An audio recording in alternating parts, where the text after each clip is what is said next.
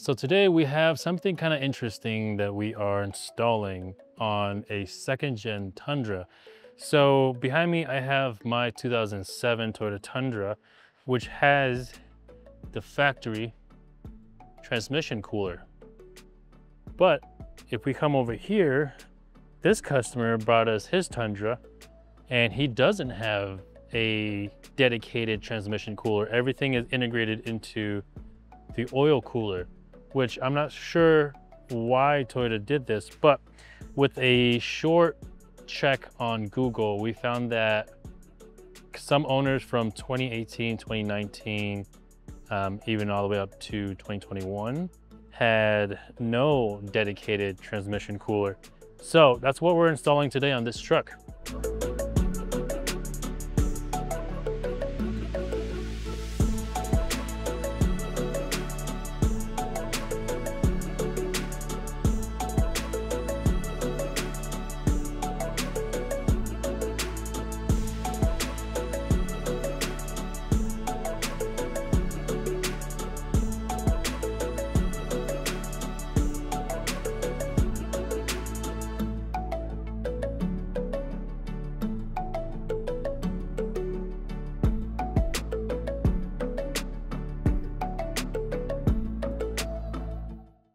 So if you look back there behind the grill, you'll see the aftermarket transmission cooler that we just installed kind of in the same position that the factory one should have been.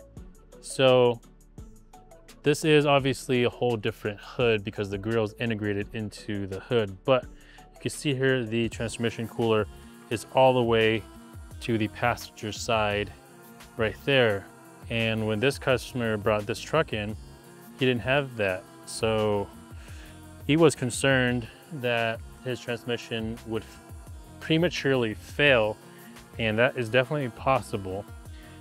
And he has everything actually measured right here on this scan gauge here. You can see there his automatic transmission temperature right there on the bottom right corner. So he knows exactly what temperature his transmission oil temps are at. So he had the right thought there. So we got the transmission cooler installed right back there. So now he should be feeling much better about not having the transmission overheating. So we just got this installed obviously, so we won't know how how soon that will go into play because this has literally just been sitting here idling. We're trying to get it up to temp and to see if it is gonna have any effect on the oil temp.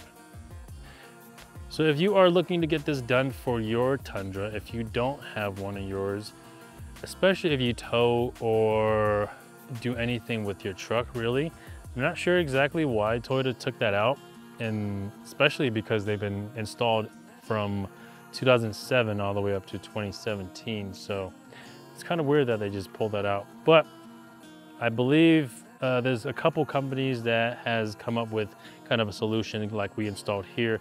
So that's kind of the fix for it. So if you're local to Colorado, want this done, hit us up, let us know, and we'll get this installed for you. It's pretty easy. It's just a little bit time consuming. So if you don't have the time, we can definitely help you out with that. But if you're new here and not subscribed, let us know what you guys want to see. We'll always make informational video like this to put out there just in case somebody, even if it's just one person that is looking for information like this. So let us know. We'll be here to help. Give us a call. I have our shop number down in the description as well. We'll see you guys next time.